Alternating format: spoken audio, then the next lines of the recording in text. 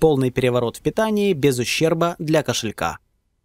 Несколько лет назад я анализировал стоимость антиоксидантов в различных продуктах и пришел к выводу, что краснокочанная капуста – это самый полезный продукт из наиболее дешевых.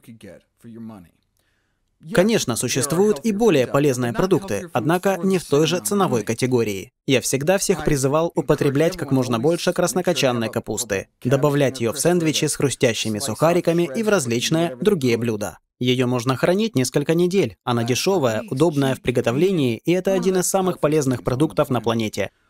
Все это по-прежнему верно.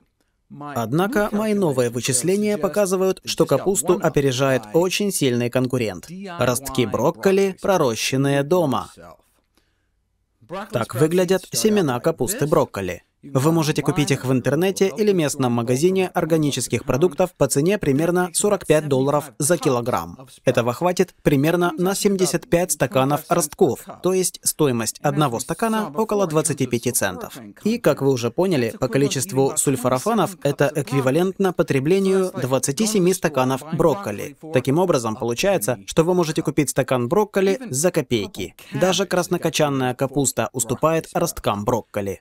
Для начала возьмите стеклянную банку с металлическим ситом и закручивающейся крышкой. Замочите их на ночь, утром слейте воду, затем промывайте дважды в день. День второй, день третий, день четвертый, и ростки готовы. Из чайной ложки семян получается около двух стаканов ростков.